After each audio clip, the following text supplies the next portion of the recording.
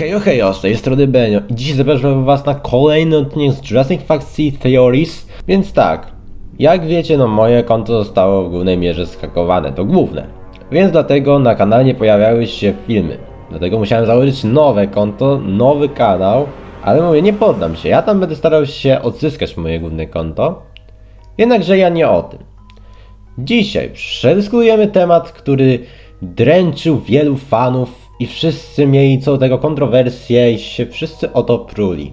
Otóż, dlaczego Therizinozaur nie walczył z Rexy po finałowej walce w Jurassic World Dominion?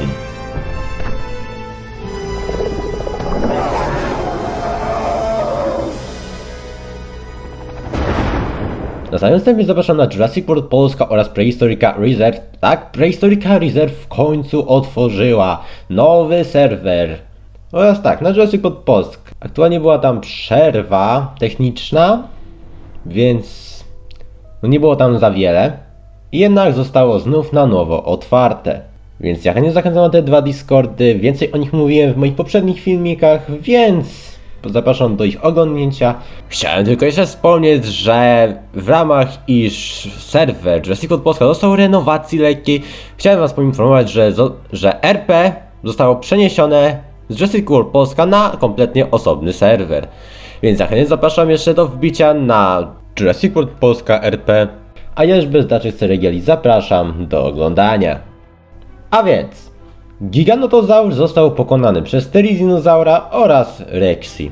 I tak, było fajnie, walka była na serio ciekawa. Jednakże nagle wszyscy zaczęli się pruć.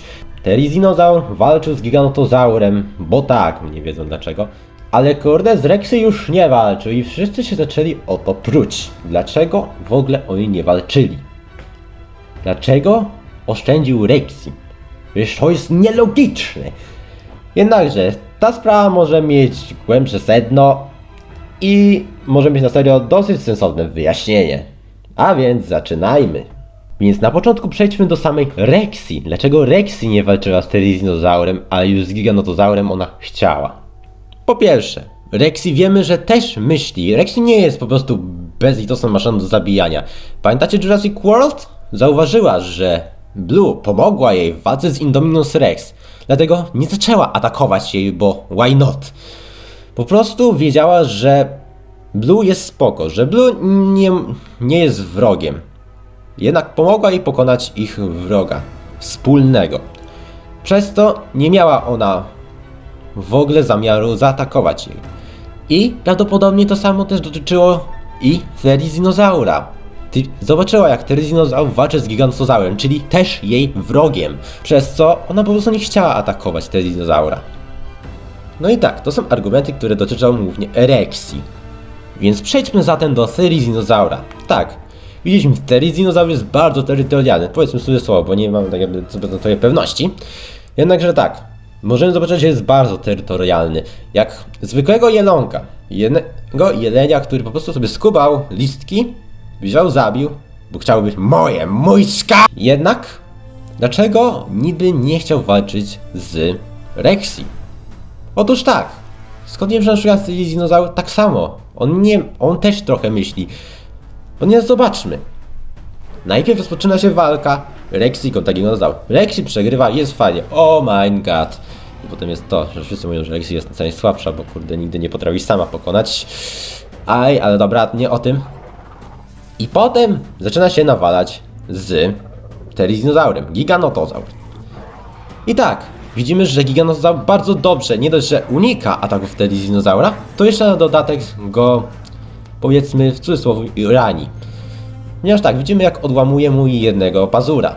Więc Terizinozaur mógł uznać na serio Gigantozaura za takie mega zagrożenie dla niego, przez co chciał go też zabić. Tak samo jak Rexy, kiedy on ją prawie zabił. I tak, no ostatecznie obojga zabijają Giganotozaura. Rexy napycha go na jego, na jego pazury.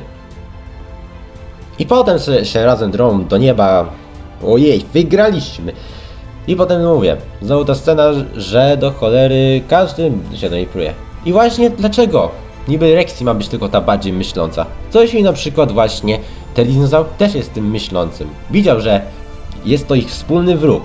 Bo jako iż zobaczył, że Znaczy nie tyle co zobaczył, on używa echolokacji. Jednakże, jak Giganotozaur atakował go, to mu się bardzo nie podobało i zobaczył, że Rexy tak samo chce go zaatakować, w sensie Giganotozaura, mogła pomyśleć, że jednak Rexy nie jest taka zła, że Rexy może jej pomóc w pokonaniu go. Przez co razem się nie pożarli, razem się też nie pozabijali w centrum sanktuarium Biosynu. Więc tak, to było takie, pomyślmy, prawdopodobne oraz z perspektywy jak dinozaur mógł to zrobić. Jednakże też musimy powiedzieć jedno. Widzimy jak oni razem pokonują Giganotozaura. I potem wszyscy mówią, że niby się nie wali. Tak, mówię to kolejny raz, ale to jest główny temat tego odcinka. Ale się potem nie nawalali po pokonaniu Giganotozaura.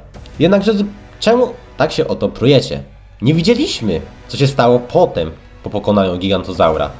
Mogło być, że Rexy mogła dostrzec, że Terizinozaur też jest, no jakby powiedzmy na jej terytorium, to zaczęła też się z nim nawalać. Jednakże na przykład Terizinozaur też nie miał ochoty walczyć i Rexy tak samo, więc po prostu sobie poszli w swoją stronę. Bądź mogło być też na odwrót, na przykład, że Rexy prawie pokonała Terizinozaura, więc ten zrobił odwrót, albo na odwrót. Terizinozaur prawie pokonał Rexy i też zrobiła Rexy odwrót. Więc dlaczego takie robicie przypływanie się do byle czego, to ja nie wiem. No i to by było na tyle z dzisiejszego odcinka. Wiem, kolejna krótka teoria, jednakże krótka, ale też i nawet sensowna. No co jakby się to wraca do korzeni, bo trzeba znowu kanał odbudować.